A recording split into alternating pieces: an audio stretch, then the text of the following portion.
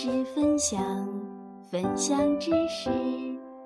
Hi, my dear friend. Thank you for joining the lesson today. Welcome. 好，各位同学，欢迎大家再一次来到我们的口语课堂。今天我们打算学习什么呢？First of all, we need to share three more idioms and a technique for speaking English. That is to take a sentence as a single word. 哎， 对了啊，那么我们今天的任务呢，一是要学习三个短语，除此以外，我们还要学习一个说英文的技巧，那么就是把整个句子当成一个单词来读啊。大家可以设想一下，你觉得单词和句子从这个说的这个角度上来说，它们有一个明确的界限吗？有些单词稍微长一点，比如说啊，无线电通讯啊，叫做 telecommunication，telecommunication 啊，说这个东西真有趣，it's interesting。从声音的长短上来说，我觉得后者尽管是一个句子，但是未必见得比前者一个单词来的更长，你说对不对？哎，所以说呢，我们可以怎么办呢？啊，把一个句子最后练成一整个单词，哎，这样去说它。好，那么这个具体怎么着呢？咱们回头结合着具体的句子来看啊。那么接下来咱们来看第一个短语，the first one big shot，big shot，一看啊，这是什么呀？啊，大佬是不是？某一个行业领域的里边的大人物，big shot。那么这个 shot 是什么意思啊？哎，有开枪的一声，啪的一枪，这就叫做一个 shot，是吧？啊，那么 big 啊，不用说了，大啊，big shot 是什么意思啊？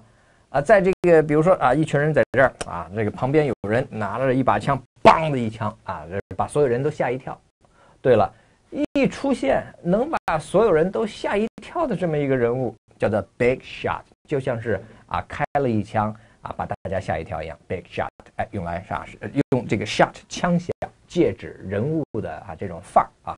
好了，那么 big shot 就是指大人物，哎，那么好了，那么接下来咱们来看一个句子啊，这句话怎么说的呢？It seems to have been a big shot. It seems to have been a big shot. 什么意思啊？他看起来哈已经成为了一个大佬啊，大人物、大角色。好，大家看这句话哪里重读呀？He seems, see, seems。注意，很多人说这个词是 he seems, he seems，不是 seem。你以为你说的是 e，其实如果说是嘴不使劲的话，它基本上和一个拉长了的这个 a 的声音基本上没什么区别了。千万别把它说成一个这个东西，明白吗，各位？这个曲线什么意思？表示你无意之中把它延长了。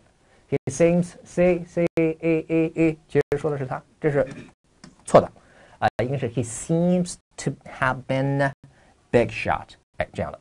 好，接下来咱们再看一句话，这句话叫做什么呢？哎，He is a big shot in American politics. He is a big shot in American politics. 他呀是一个啊美国政坛的大人物。哎，那么大家看这句话也好，还是上面一句话也好，能不能把它练成是一个单词？哎，我觉得是可以的。He's a 怎么办？He's a big shot in big shot in，然后这这个 n 和 American 连起来，He's a big shot in American politics. He's a big shot in American politics. He's a big shot in American politics. 哎，大家是最后说成什么呢？把这样的一句话当成一个单词，这样 He's a big shot in American politics. 啊，你全当是这样的，啊，这就是这就好比是一个大单词。这个单词什么意思？这个单词的意思就是说是他是美国政坛的大人物，啊，就是这样去去去去看待他。语言，你想想。大家想想，这个句子和单词之间有没有明确的界限？它其实是没有的，啊，完全没有的。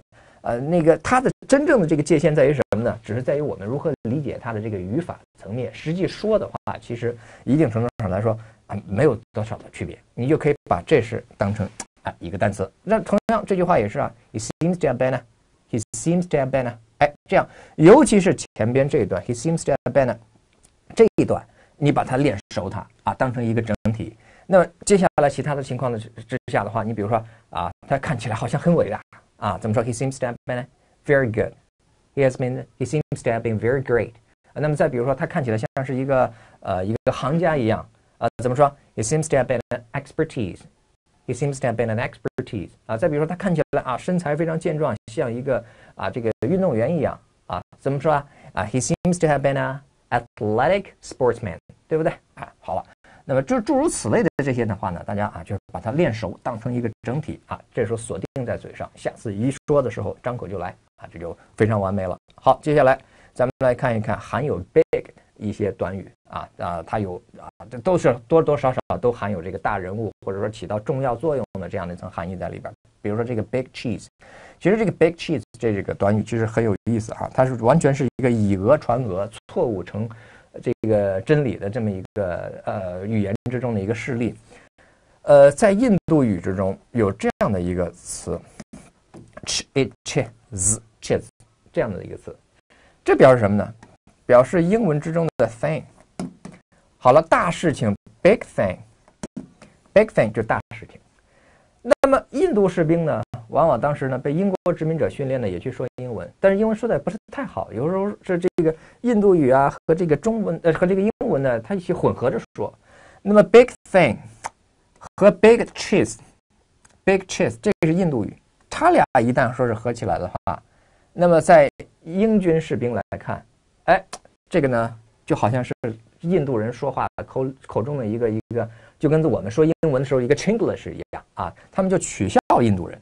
结果取笑着取笑着取笑着，慢慢的还真就把这个东西呢移植到英文里边去了。正好呢，英文里边又有一个词，它的音呢和这个印度语的这个 cheese 是差不多的，哎，所以说 big cheese 啊，大奶酪怎么来的？其实是以讹传讹，从而产生的这样的一个语言里边的一个啊，这个这样一个 edm 一个短语，对不对？就好像我们现在有些时候说，哎呀，你家真有钱呀，你都住别野，谁不知道那件树都知道。但我们故意这么读的，说不定几百几千年之后，那也真就有这个说法了，是不是？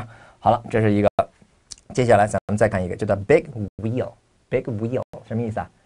方向盘，wheel 方向盘有车轮的意思啊。一个公司一个组织就像是一个机器一样，就像一辆车一样。这个人啊，他牛啊，他控制着整体的走向啊，是吧？啊，他是我们的大方向盘，大掌舵的，哎，这个意思。好，接下来还有一个 great figure，great figure 是什么意思啊？哎，和上面的这个意思差不多啊，就是指这个大人物啊。但是这个呢，表达的更直观，大的一个 figure 身影嘛，是不是啊？就表示大人物。好，那么接下来再看一个短语 black eye，black eye 什么意思啊？啊，你看，不是说是黑眼睛很黑啊，不是这样的，而是指什么呀？哎，坏名声、耻辱，什么意思啊？什么叫做耻辱？我。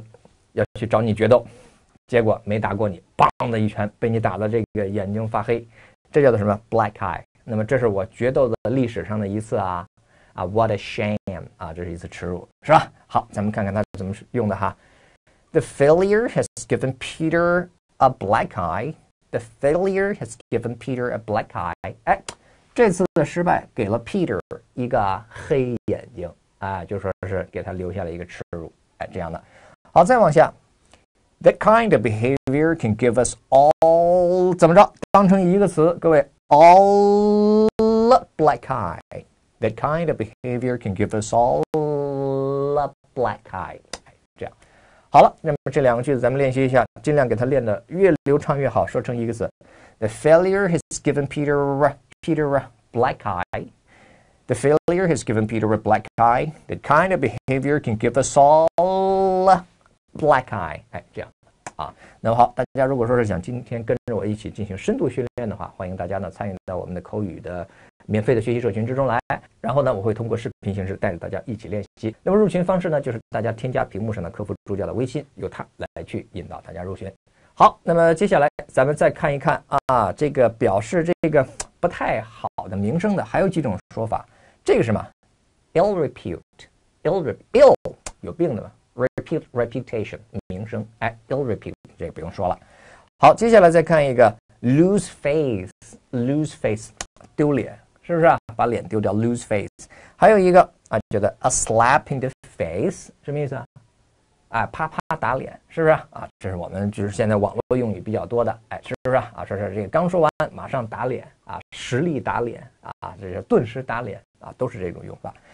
好，接下来咱们再看一个短语，a shot in the dark。a shot in the dark，大家可以猜想一下，先不用看它的意思啊。a shot in the dark 什么意思啊？